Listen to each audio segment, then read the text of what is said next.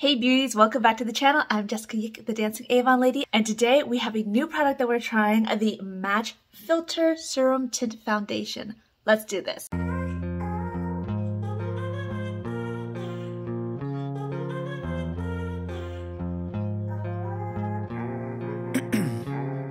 I am excited to try this because it is a brand new Match product. So what is Match? Match is actually the new rebranding from our Magix line ta-da! A lot of the Magix products that we have grown to know and love over the last year and a half, maybe two years, is now slowly being rebranded to Match, which is exciting. I really like the name change, to be honest with you. I think it fits better. It doesn't sound like something else. For those who get it, get it. For those who don't, that's okay. Let's leave it at that. So anyways, this is the Match Filter Serum. So this is supposed to be a soft powder matte finish foundation. It is a buildable wear that provides you between a sheer to a medium coverage, which is exactly what I'm always looking for. I don't like things to be too heavy on my face unless I'm going to do a performance, but usually I like something really sheer or there's many days I don't even wear any foundation. So I think this will be right up my alley. So it is formulated with skin loving ingredients such as hyaluronic acid and we all know how amazing hyaluronic acid is because hyaluronic acid is one of those ingredients that can hold up to 1000 times its weight in water so it's going to give you that burst of hydration. It's also formulated with a tri-berry complex which is filled with antioxidant antioxidant filled with antioxidants and then finally it also contains vitamin E which will help with hydration and keeping your skin nice and smooth. So this does come in nine different shades and the one that I have for you today is called Fair Light. I chose this one because it's a soft, it does have a soft yellow undertone.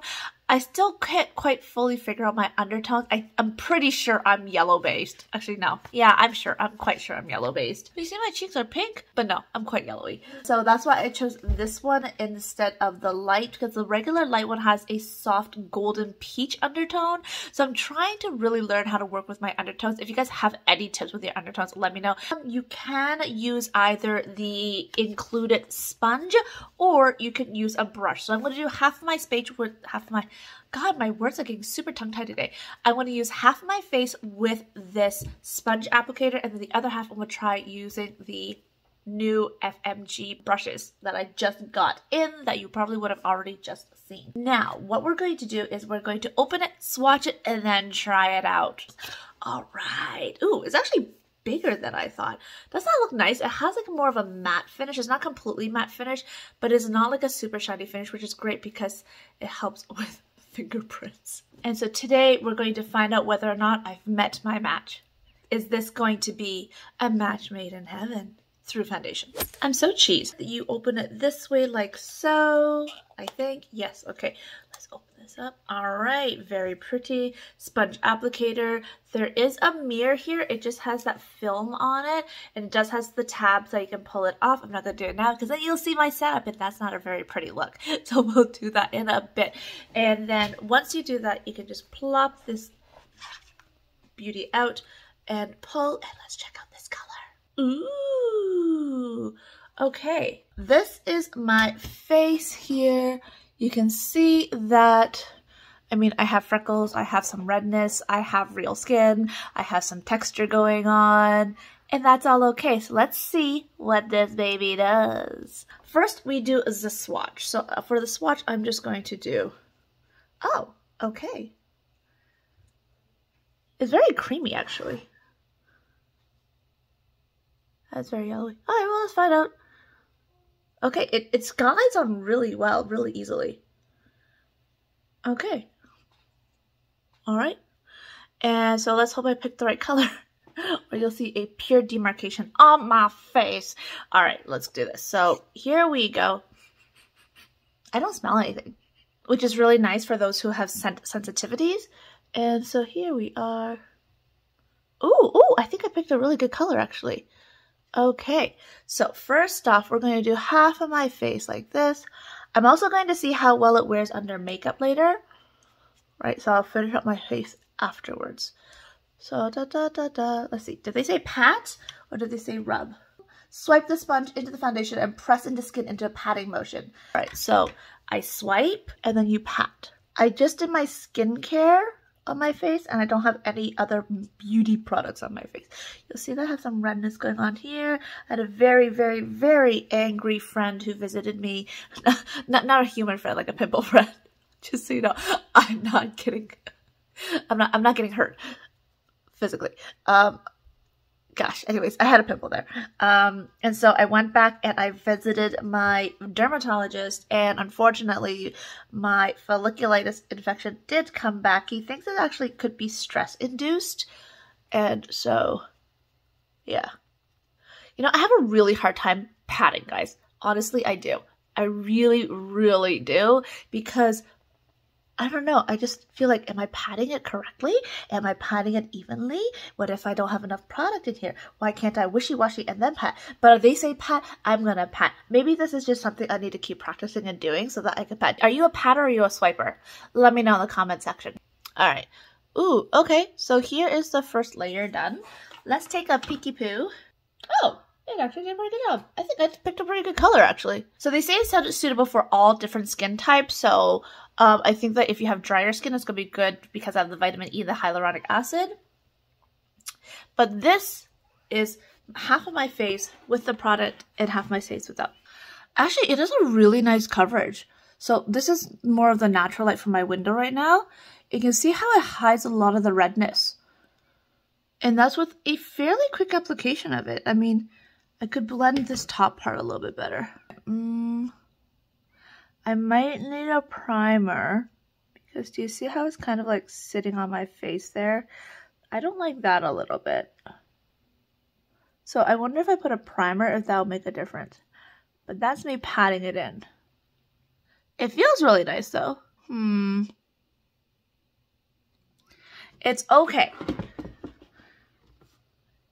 okay, like I said, it feels really nice. I think the color is a great, great, great match.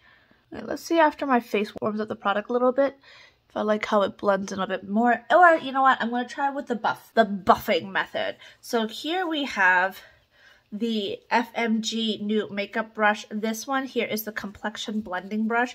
I'm going to use this and I'm going to try buffing it on this side to see if I like how that works out better. So here we go. So he said swipe and then buff. I'm going to use my other mirror. And they said start in the center and work outwards. Honestly, I just got these brushes in. Like, well, I got these brushes in a little bit ago. I'm loving using them. Like, super loving it. You can always tell the most around my nose area because I have the most redness right there. Let's take a peek. I want to show you the best I can.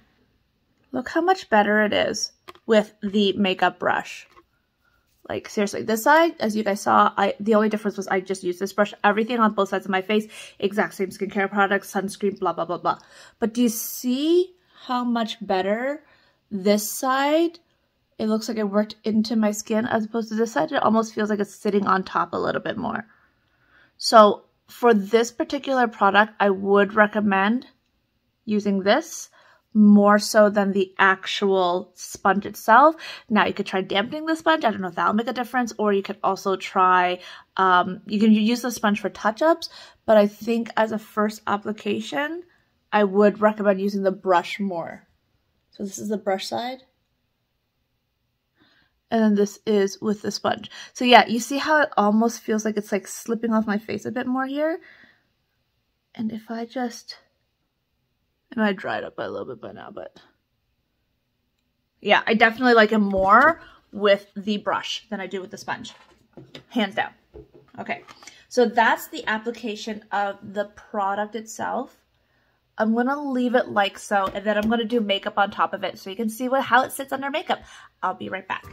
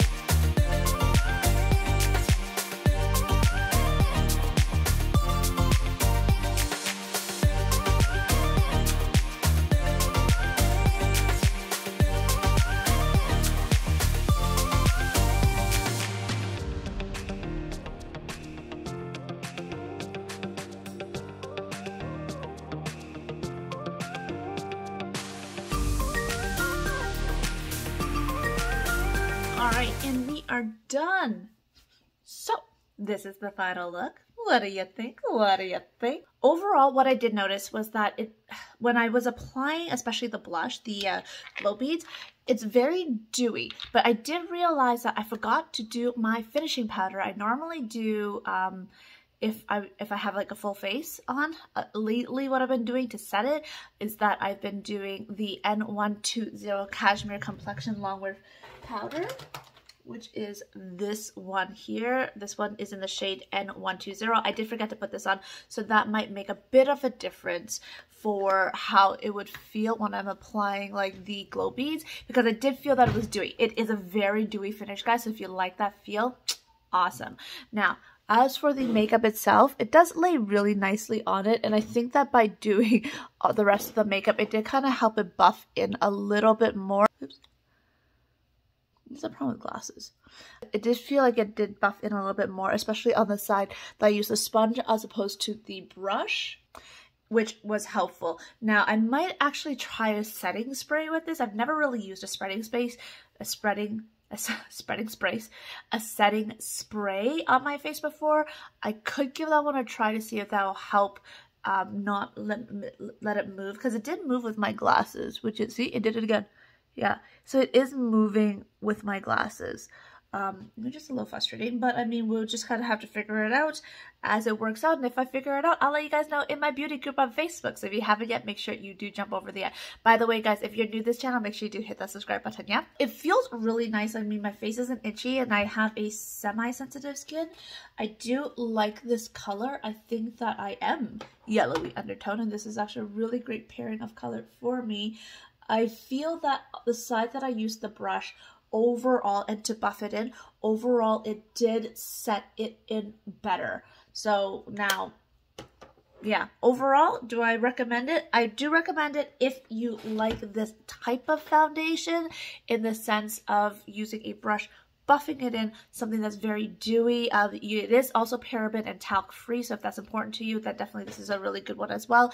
It does feel nice and light on my skin, which is another thing that I really like. I don't like it when things feel really heavy or cakey, so I do feel it is a very comfortable wear. I'm going to have to try it again a few times using different things underneath, maybe trying with a primer, without a primer, with a setting spray, without a setting spray, um, or also even just using the finishing powder or a translucent powder on top just to really make sure things don't move. I would I can do those updates for you guys if you would like to hear them. But if you're looking to find all the nine shades that are available, make sure you do go to the link in the description box to check them out. Um, I also do like the fact that it has no scent. So for people who are scent sensitive, this is a fantastic product. I smell absolutely nothing yeah, absolutely nothing with it whatsoever. Now, if you're a person who loves scented products, this might not be the right fit for you. But hey, I like it because I have a scent sensitivity, and I know a lot of my clients would also like it as well. I do really like the finish, especially on this side. Yeah. Yeah. And it's not settling into my lines here too much. Especially this side, like especially the side that I buffed it in. I feel like it's it's not settling which is nice. So that's it, guys. Thank you so much for watching. If you have any questions, please do reach out. I am here to help. If you guys are interested in becoming a beauty boss, make sure you do either jump over to my other YouTube channel, Passions to Paycheque with Jessica Yik, or find me on Facebook, and we can book a free 15-minute consultation to see if Avon is the right fit for you. If you guys have any product recommendation, please do let me know in the comment section so that I can get them and I can try them to the best of my ability. Full disclaimer, guys, I am not a beauty expert. I am a beauty who just loves to play with makeup. I have no formal training. I've just been doing my own makeup for years and years and years since my dance competitive days. So, and I like what I do. Works for me. I love you guys, and I will see you in the next one.